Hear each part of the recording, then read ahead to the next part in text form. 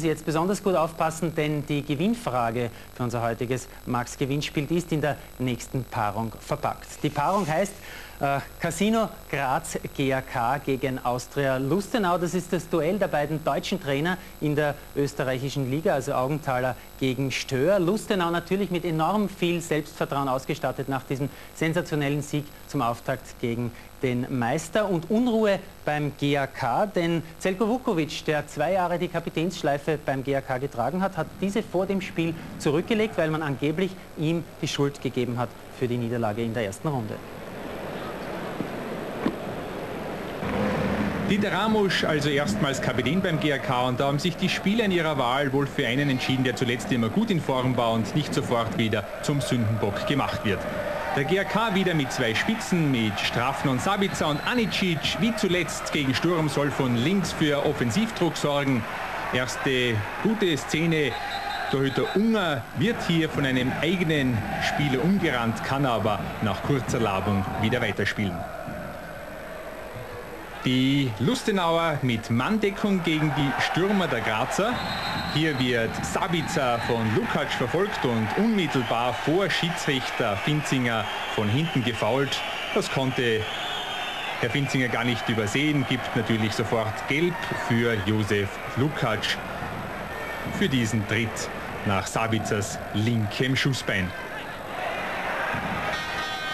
Die Lustenauer natürlich mit viel Selbstvertrauen nach dem Sieg in der ersten Runde spielen auch sofort mit.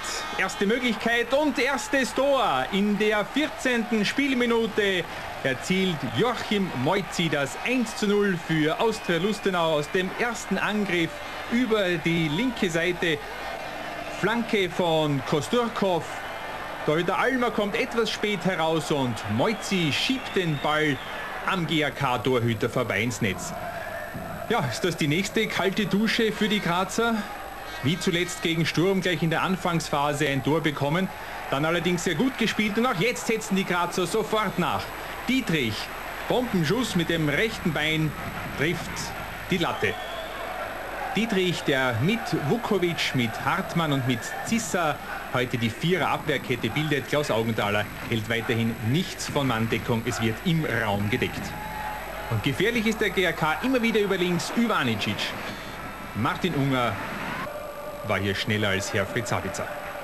Und auch über rechts. Didi Ramusch, von beiden Flanken möchte man die Lücken finden. Hier findet er Sabitzer ganz allein. Guter Schuss, aber doch um einige Meter am Tor vorbei. Herr Fritz Sabitzer, der sich auch sehr viel bewegt, viel rackert, sehr fleißig ist. Aber vorerst noch ohne Erfolg.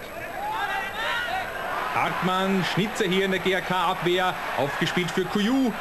Aber auch der lässt sich hier den Ball abnehmen von Alice Tschech, der zwar unauffällig im Mittelfeld spielt, aber immer wieder anspielbar und gute Passbälle nach vorne bringt.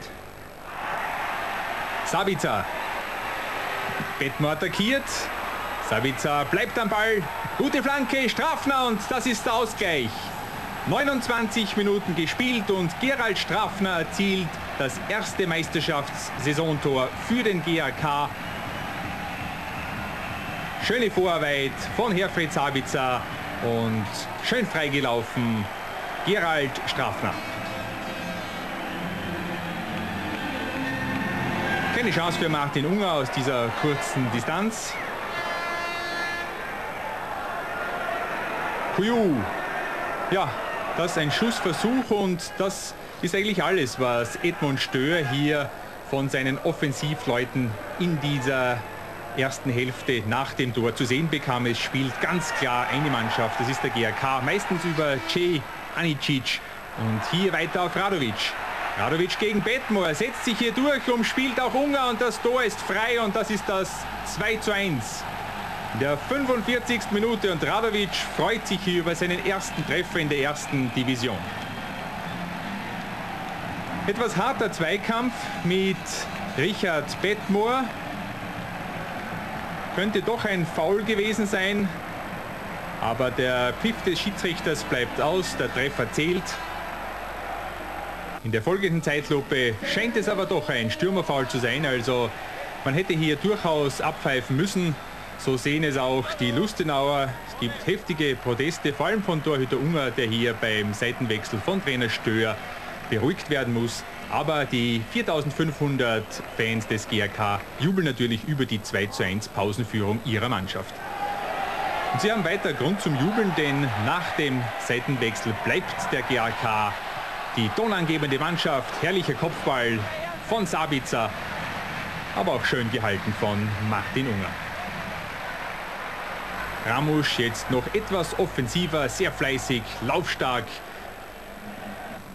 Und in diesem Fall eigentlich wie die ganze GRK-Mannschaft eine Klasse stärker als Lustenau. Jetzt nächste Möglichkeit. Sabitzer, Strafner ganz alleine, nimmt sich den Ball herunter, aber trifft ihn dann schlecht und vergibt diese tolle Möglichkeit auf das 3 zu 1. Angriffe eigentlich jetzt nur auf das Tor der Lustenauer. Ganz schnell wird der Ball immer nach vorne gespielt. Trainer Klaus Augenthaler äußerlich ruhig, aber innerlich sicherlich doch so aufgeregt wie neben ihm hier Manager Peter Svetic. Er möchte endlich als Cheftrainer gewinnen. Sabica! Und das ist das 3 zu 1 nach 53 Minuten. Herfried Sabitzer trifft seit November 1996 das erste Mal wieder. Nach diesem Freistoß von Dietrich, der abgefälscht wurde, erhöht Herfried Sabitzer auf 3 zu 1. Jetzt bäumen sich die Vorarlberger nochmals auf. Einige Spielerwechsel bringen kurzfristig frischen Wind. Das ist die einzige Szene, in der Torhüter Franz Almer sich strecken muss bei diesem Schuss von Josef Lukacs. Es reagiert auch Klaus Augenthaler. Steht knapp vor seinem ersten Sieg als Cheftrainer. Ramusch hat hier die letzte Möglichkeit des GRK, die die Ramusch verzieht. Aber es bleibt beim 3 zu 1 Sieg des Casino GRK gegen Austria Lustene. Und der GRK feiert verdientermaßen seinen ersten Sieg im Arnold Schwarzenegger Stadion, in dem es bisher in jedem Spiel vier Tore gegeben hat. Also ein klarer Sieg für den GRK beim 100. Bundesligaspiel von Schiedsrichter Finzinger. Trotzdem hat es nachher jede Menge Gesprächsstoffs bei den Interviews gegeben. Natürlich ging es unter anderem um diesen umstrittenen Führungstreffer zum 2 zu 1. Wenn wir die Vorstellung vom Trainer umsetzen können, können wir jeden Gegner schlagen. Und umso mehr freut es mich, dass mir heute das erste Bundesligator gelungen ist. Dieses Tor war vorentscheidend, knapp vor der Pause. Es hat aber von der Tribüne aus doch ein bisschen auch nach einem Foul ausgesehen gegen Bad Moor. Ja, es war eigentlich ein Gerangel, wo ich glück, glücklich den Ball noch bekommen habe, einen Tormann umspielt habe und das leere Tor geschossen habe. Hauptsache der Ball ist drinnen. Wie, ist es egal. Aber der Schiedsrichter hätte auch abpfeifen können. Hätte er, hätte er. Meiner Meinung nach war das ein klares Foul und das war so knapp vor der Halbzeit, war sicher ein Knackpunkt in unserem Spiel. Ja, also jeder im Stadion hat gesehen, dass das ein klares Foul war, nur der Schiedsrichter, der unmittelbar daneben stand, hat es nicht gesehen. Aber gut, damit müssen wir leben. Waren Sie mit der Leistung Ihrer Mannschaft einigermaßen zufrieden? Ja, sicher. Ich glaube, jeder hat gesehen, äh, dass wir eine willige Mannschaft haben. Äh, speziell nach dem 3 zu 1 äh, haben wir eigentlich unser wahres Gesicht gezeigt. Wir haben Fußball gespielt, frech gespielt. Zufrieden bin ich mit dem Ergebnis, aber es war wieder ein Zittersieg. Erste Torchance oder erste gefährliche Aktion von Lustenau, aber jetzt sind wir wieder eins von hinten gelegen. Es gibt noch viel zu tun. Und schon sind wir beim nächsten Programmpunkt. Wie versprochen, das Max Gewinnspiel steht auf dem Programm.